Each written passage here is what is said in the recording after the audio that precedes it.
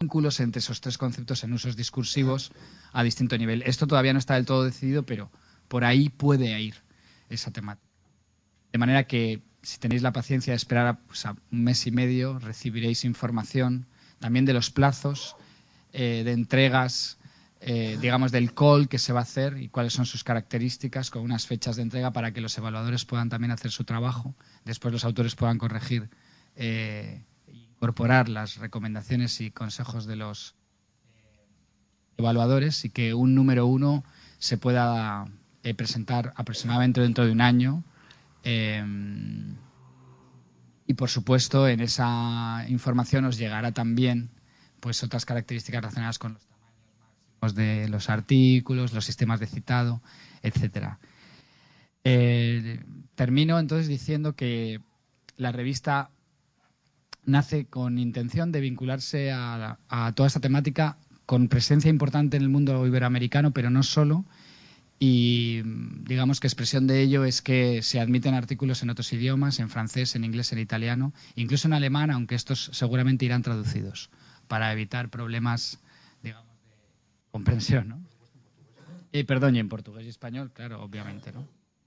Eh, yo creo que con esto queda presentada la revista y pues os animamos a vosotros. Se llama Ariadna Histórica y el subtítulo es Lenguajes, Conceptos, Discursos y la idea es que os animéis a presentar eh, propuestas, a presentar propuestas temáticas, a presentar artículos que serán evaluados, pero también que a vuestros colegas, incluso discípulos, eh, los animéis a ello.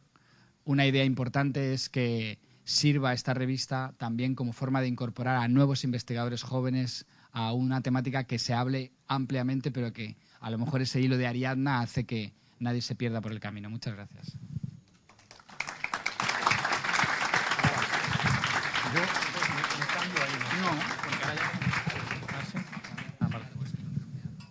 Me resultaría más fácil hablar de algo que ya conozco, que es un poco pero no voy a hablar de la historia conceptual, digamos, de manera, eh, digamos, dar los rudimentos de qué es eso de la historia conceptual, que estoy por supongo que la mayor parte de los conocen, sino que más bien hablaré de dos, mm, de dos puntos concretos. Uno que sería el cambio histórico, la cuestión del cambio, que es un tema que voy a desarrollar también en Buenos Aires en, dentro de unos días.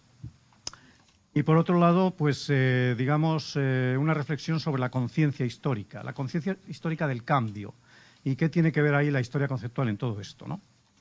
Eh, para empezar, me gustaría, me gustaría decir que la conciencia histórica no es un hecho natural, sino que es un hecho cultural. En ese sentido, la realidad, eso que llamamos conciencia histórica, es una actitud bastante reciente. Hombre moderno se posiciona ante el tiempo, ante las tres dimensiones o las tres éxtasis, cómo se relacionan las tres dimensiones del tiempo, el pasado, el presente y el futuro, de una manera distinta, articula esas tres dimensiones de una manera distinta como lo hacían sus antecesores y probablemente la tesis de Artaud, que ustedes conocen, esa articulación está siendo rearticulada en estos momentos, en estas últimas décadas. Por lo tanto, eh, la historia, eh, la, historia de la conciencia histórica, o mejor dicho, la conciencia histórica tiene también una historia no es algo, digamos, eh, evidente por sí mismo. ¿no?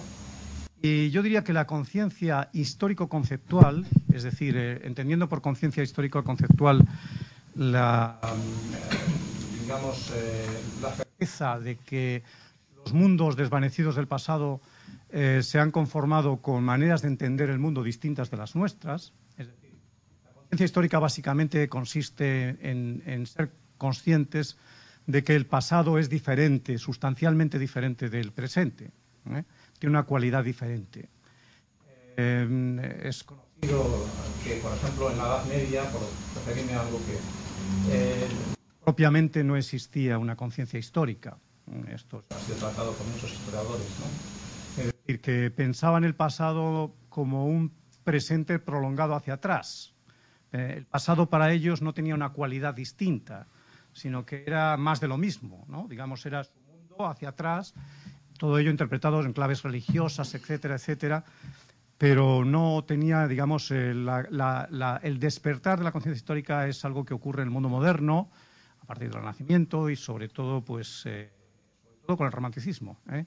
es cuando en el siglo XIX la plena conciencia de que los mundos del pasado tienen sus propias, eh, sus, propias eh, razones, su propia, eh, digamos, su, cualidad distinta desde muchos puntos de vista, pero, no pero al principio se piensa el pasado sobre todo de manera... Bueno, voy a retomar el hilo porque me temo que me estoy, me estoy alejando un poco del tema. Quería empezar hablando un poco del cambio, del cambio cambio, del cambio en la historia. Cambio, eh, hablar de historia del cambio puede parecer un poco redundante porque sabemos que los, los eh, maestros fundadores, Luis Jean Febvre y Marc Bloch, definieron aquellas famosas definiciones de la historia como ciencia del cambio o de eh, la ciencia de los hombres en el tiempo. Entonces, eh, la reflexión que quería hacer para empezar era, eh, tiene que ver más bien con, la constatación de que el pasado, mm, digamos que el cambio no es algo solamente que sucede en el pasado, sino que en la medida en que los propios historiadores estamos, inevitablemente somos mortales, y los conceptos que construimos para interpretar el pasado son conceptos perecederos, conceptos que caducan, conceptos que pasan, que duran un tiempo, hay una dialéctica por la cual continuamente reinterpretamos los cambios de manera distinta. Es decir, el, paso de las generaciones de historiadores va eh, estudiando los cambios históricos desde perspectivas distintas.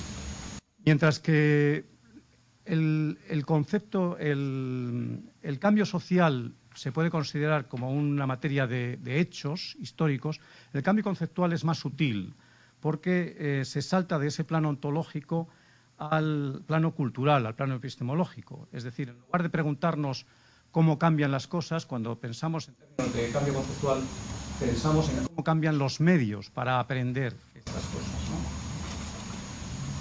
Bien. Eh,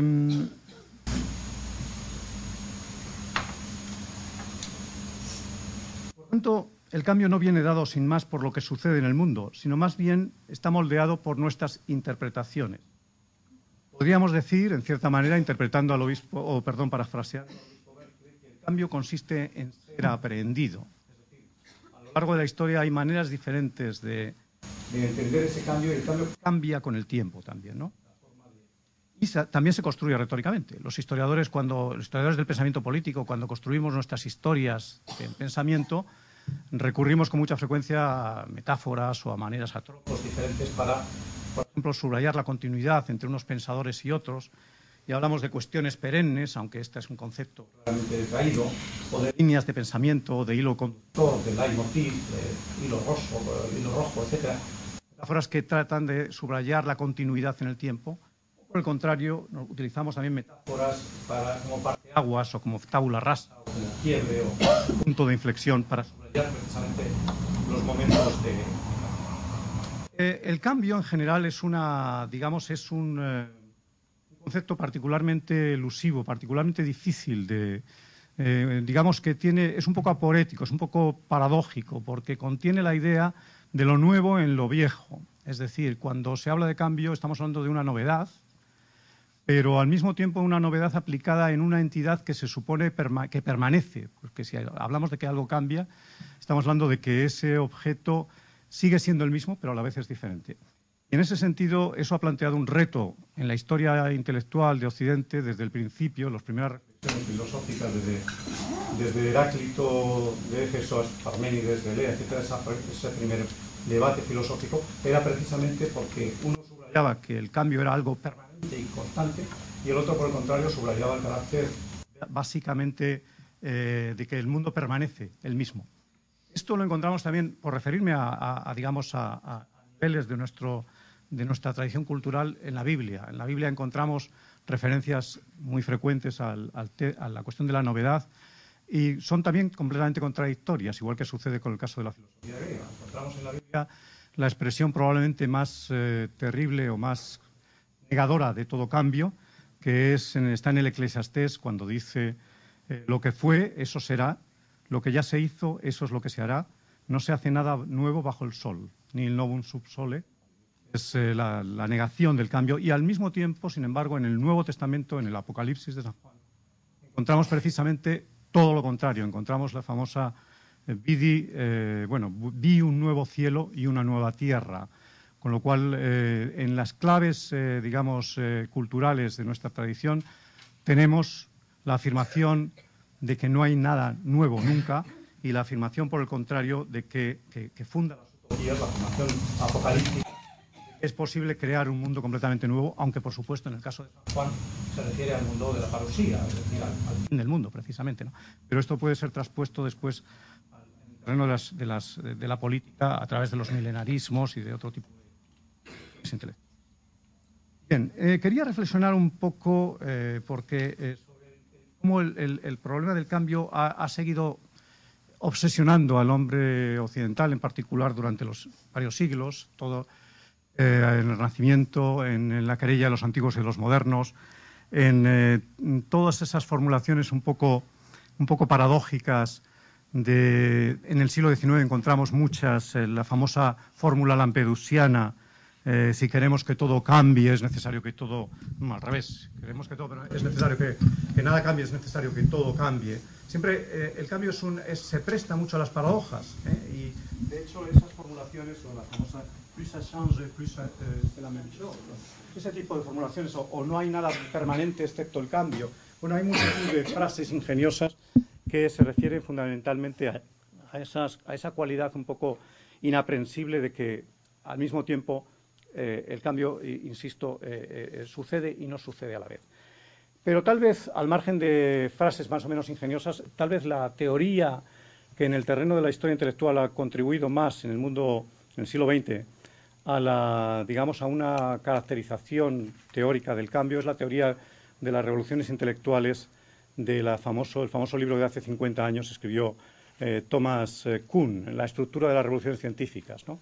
Hay una propuesta que yo creo que es una propuesta muy interesante que fue también recibida en la historia intelectual, por ejemplo, por Pocock, que utiliza esa transposición de la teoría de Kuhn, según la cual los cambios intelectuales profundos se producen más bien de manera cataclísmica, es decir, de vez en cuando hay una sustitución de, un paradigma, por utilizar su propia terminología, eh, que es, sustituido, todo un sistema conceptual es sustituido y se entra en una, fase de, más tranquila de ciencia normal hasta que se produce una nueva crisis de todo el sistema en su conjunto. Yo creo que el paradigma de Kuhn, eh, la teoría de Kuhn sobre el las revoluciones científicas es, muy, es una herramienta muy útil para entender eh, nuestras, también las revoluciones políticas e intelectuales que han sucedido en los últimos, en los últimos siglos. Eh, la reflexión que quería hacer ahora tiene que ver con el vocabulario del cambio.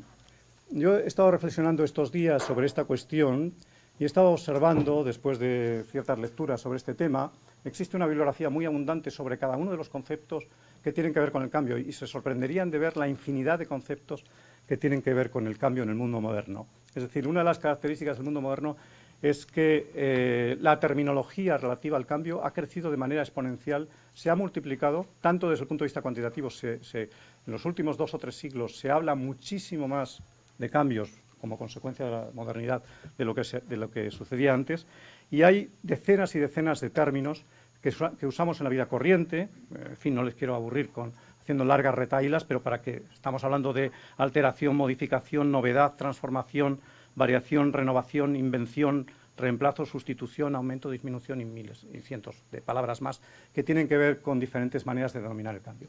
Y luego hay un ámbito específico dentro de los vocabularios del cambio que, es un vocabulario más técnico, términos técnicos que se usan en las ciencias sociales, como son, por ejemplo, transición, proceso, modernización, progreso, devenir, evolución, crisis, revolución, reforma, innovación, ruptura, metamorfosis, poiesis, conversión, metanoia, bueno, hay infinidad de términos de las ciencias sociales que tienen que ver con el cambio. Y luego existe un terreno intermedio entre los términos técnicos de las ciencias sociales y los términos de la vida cotidiana. Y ese terreno es especialmente ese sector anfibio del vocabulario que se mueve tanto en el ámbito de la academia como en el ámbito de la calle, por así decirlo, es especialmente interesante y especialmente peligroso porque muchos de los conceptos que se usan por los agentes, nosotros los usamos a veces de manera muy distinta. Voy a poner un ejemplo concreto que espero ilumine un poco de qué estoy hablando.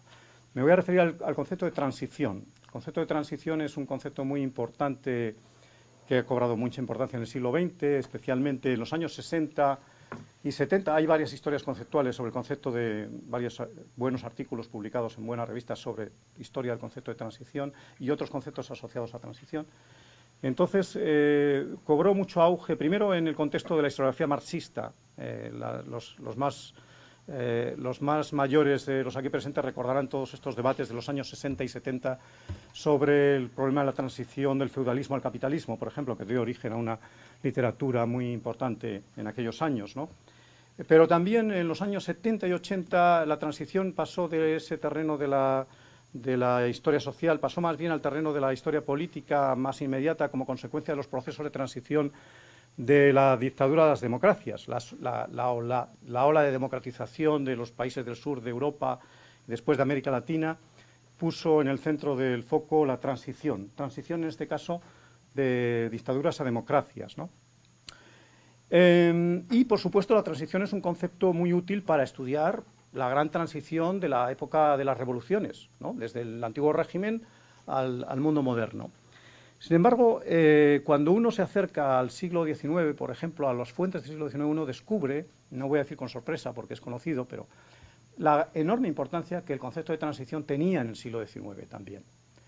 Eh, los agentes, la gente que vivía en aquel tiempo, especialmente los intelectuales, reflexionaban muy frecuentemente sobre ese concepto de transición, pero lo hacían de una forma muy distinta.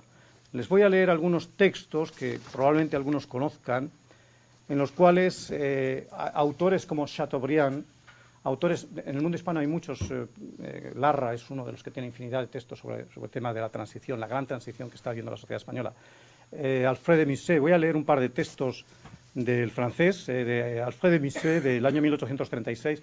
Son autores de la posrevolución, postrevolucionarios, y que son conscientes de que están viviendo una época transicional, una época eh, utilizan unas metáforas muy bellas relativas a ríos, ahora lo van a ver. Bueno, el caso de Alfred de Musset eh, simplemente dice lo siguiente, escribiendo en el año 36, eh, Confesiones, Confesión d'un enfant du siècle. Y dice, todos los males de nuestro siglo actual proceden de dos causas. El pueblo que ha pasado por 1793 y por 1814 lleva dos heridas en su corazón. Todo lo que antes existía ya no existe y todo lo que había de venir para reemplazarlo no existe todavía. Esa y no otra es la causa de todos nuestros males. O sea, la idea, digamos, de que un mundo se ha desvanecido, el hombre se ha quedado sin casa, pero no tiene una casa alternativa donde vivir. Digamos, el mundo viejo se ha venido abajo, pero no se ha creado un orden alternativo todavía. está en un estado de flujo, en un estado de incómoda tierra de nadie, de transición hacia no se sabe dónde. Escribe Chateaubriand en un texto muy citado, traduzco también, dice, me encontré a caballo entre dos siglos como en la confluencia de dos ríos. Me he lanzado a sus aguas turbulentas, alejándome con pesar de la vieja orilla donde nací y nadando con esperanza hacia la otra orilla desconocida. Es decir, eh, la mayor parte de los autores que tratan de transición, eh, en este caso no utilizan la palabra transición, pero ellos sí lo utilizan en su obra abundantemente, Em, lo hacen sensación eh, con una sensación de angustia, de, incertidumbre, de no conocer el puerto de arribada. Digamos, están en un momento en el cual un mundo se ha desvanecido, pero el, orden alternativo no se ha construido todavía. Por el contrario, el historiador que se acerca a estudiar ese mismo periodo y que utiliza el mismo concepto de transición para tratar de interpretar esa transición, ese momento de cambio, lo hace, lo hacemos con la ventaja cognitiva que nos da el hecho de saber el final de la historia, es decir, cómo terminó todo aquello. Esto vale también para las revoluciones hispanoamericanas, por ejemplo. Uno encuentra en los autores que escriben en caliente después de las revoluciones una aguda sensación de incertidumbre, de desasosiego, muchas veces, y sin embargo, después cuando todo, todo cobra sentido ex post, ex post facto, o sea, cuando el proceso de transición está infieri, se está llevando a cabo, los agentes no saben el futuro. Hay una cortina de tiempo que les impide ver el futuro. Nosotros estamos del otro lado de esa cortina del tiempo. Y entonces eso nos permite, digamos, la ventaja, que es de la que el historiador eh, nos servimos de eso, para interpretar esa transición de una manera más o menos teleológica. Es decir, ahí está la cuestión. el uso de ese, propio término eh, no nos ponemos en la situación, porque eh, nos es difícil ponernos en la situación los agentes del pasado, y utilizamos la transición, pero precisamente para fijar un perfecto panorama del punto inicial y del punto final. ¿eh? Y nos da la impresión de que todos los sucesos encajan bien en ese proceso, como si fuera un camino más o menos obligado de principio, de principio a fin. Bueno, la tesis que voy a desarrollar a continuación en los próximos diez minutos o un cuarto de hora, les prometo no alargarme más, es eh, la que dice, digamos, resumidamente, yo diría que eh, la historia conceptual, eh, según yo lo veo, es un punto de vista mío particular, pero creo que se puede sostener con, bastante, con bastantes buenos argumentos. La historia conceptual es una vuelta de tuerca más, es un paso más, es un salto más en el desarrollo de la, de la historia de la conciencia histórica del hombre moderno. Es decir, es un, es un paso más allá de la simple, del, simple, de la simple conciencia del cambio histórico. Antes, en principio, he hablado de manera muy confusa del cambio social y del cambio conceptual como algo distinto.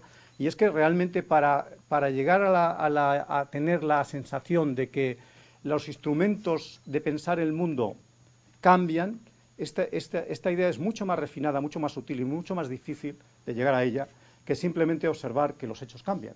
Que los hechos cambian es algo que puede llegarse con, mayor facilidad.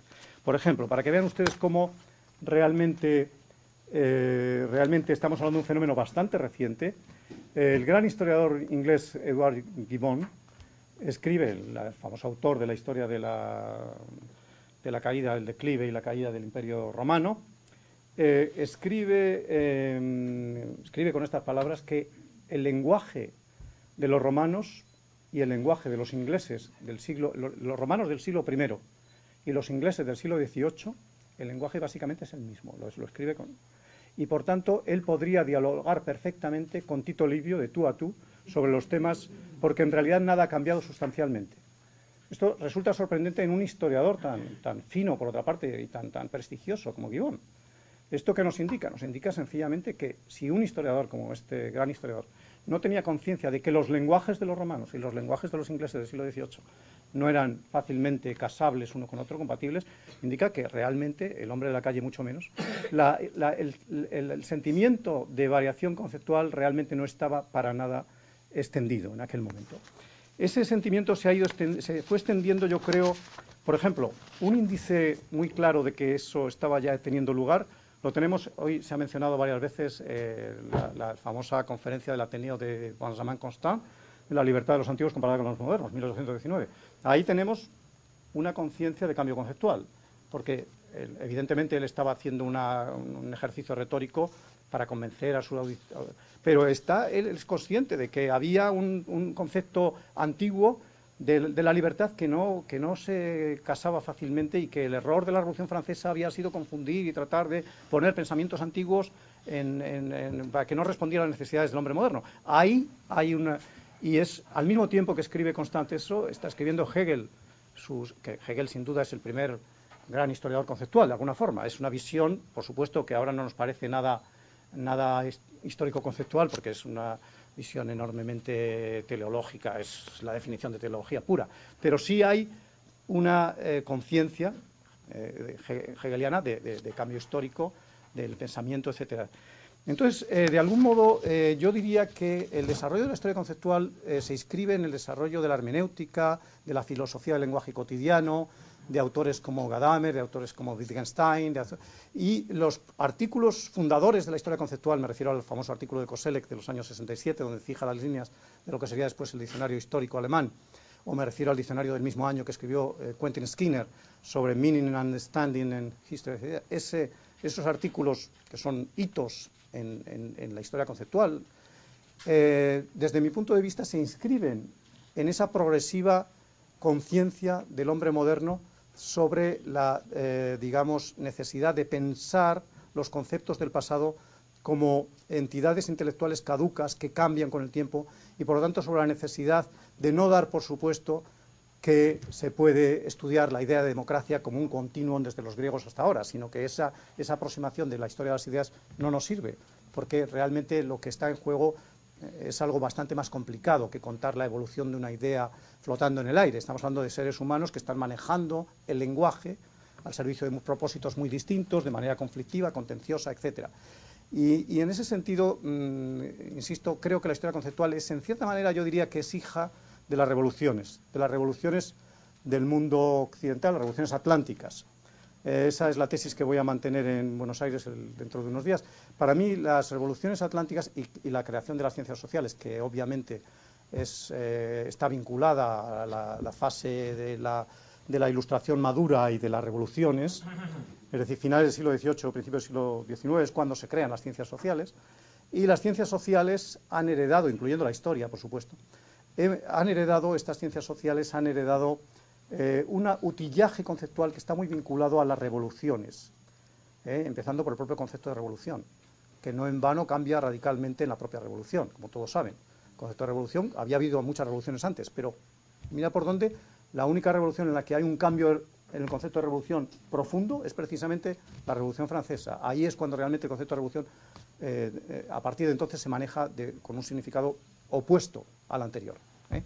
Por lo tanto, eso quiere decir mucho. Quiere decir que eh, las ciencias sociales manejan después ese mismo concepto de revolución, por supuesto, reelaborado por los científicos sociales de maneras distintas, por Tocqueville o por Marx o por otros autores. ¿no? Pero eh, entonces, eh, desde mi punto de vista, lo que hay con la creación de las ciencias sociales es una revolución también epistémica, es decir, no simplemente una sustitución de un sistema conceptual por otro, sino más bien eh, lo que yo llamo, tal vez de manera un poco abusiva, un cambio en el régimen de conceptualidad. Es decir, me da la impresión de que en el mundo moderno, entendiendo por el mundo moderno sobre todo el mundo contemporáneo, lo que llamamos normalmente el mundo contemporáneo, hay un cambio en la manera de, en la manera de articular los conceptos y de crear, de generar, de engendrar los conceptos. Digamos que la conceptualidad eh, anterior a las revoluciones era una conceptualidad más pasiva, más inercial, más constituida, mientras que la, forma de generar conceptos, el modo de producción conceptual de después de la revolución es un modo de producción más proactivo, más futuro orientado, no pasado céntrico, sino futuro céntrico, y que tiene, digamos, la capacidad de diseñar el futuro a través del diseño de nuevos conceptos. Voy a poner un ejemplo que es de la tesis eh, que va a defender dentro de unos días Luis Fernández, que está aquí presente en la sala, Luis Fernández Torres eh, está defendiendo una tesis dentro de muy poco sobre el concepto de partido eh, en la España del siglo XIX. Entonces él descubrió, y lo estuvimos comentando, yo soy el supervisor, el director de la tesis, eh, descubrió que en el concepto de partido hay un cambio muy importante en el caso español a mediados del siglo XIX, que es cuando los agentes políticos, en los debates parlamentarios, por ejemplo, se dan cuenta de que un partido es algo que se puede crear, que se puede producir, que se puede fabricar, que se, digamos, eh, una especie de capacidad demiúrgica, ¿no? de promoteica, de crear un, partido. Cuando, con Unión Liberal, en 1854, hay un, hay un debate en el Parlamento español muy interesante, en el cual algunos dicen, pero bueno, un partido eh, un partido es una consecuencia de los hechos, es decir, es algo que, que, la historia crea en el sentido de que las personas se oponen unos a otros, se pelean, se crean bandos, porque, y entonces de manera espontánea esos bandos cristalizan y forman grupos y partidos. Pero ¿qué es eso de crear ex profeso un partido diciendo vamos a hacer un partido de diseño? O sea, vamos a crear la Unión Liberal como un partido, no como consecuencia de las disensiones que producen partidos, que producen divisiones, sino como consecuencia de la voluntad humana pura, es la disponibilidad del concepto de partido. El concepto de partido está disponible, es decir, uno puede crear un partido puede engendrar una nueva realidad a partir de un concepto. Eso realmente eh, yo creo que es algo característico del mundo moderno, es algo que por supuesto el pensamiento conservador y reaccionario arremete con dureza contra esa constructibilidad, contra esa ingeniería política, está en Burke, está en otros autores, que digamos la capacidad eh, del ser humano para, inventar una nueva, nuevas realidades y nuevos conceptos. Bueno, hay bastantes cosas más por aquí, pero yo creo que lo voy a dejar aquí porque ya me he extendido demasiado. Eh, simplemente voy a terminar con un ejemplo que pone de manifiesto cómo esa conciencia de historicidad, o con un par de ejemplos, esa conciencia de historicidad eh, mm, eh, surge, digamos, progresivamente en una serie de autores. Hay un texto que me fascinó cuando lo leí de Renan, Ernest Renan, de L'Avenir de la Science, 1848, París. Eh, escribe lo siguiente, en un debate, dice lo siguiente, también voy, traduzco del francés, dice, aquellos que creen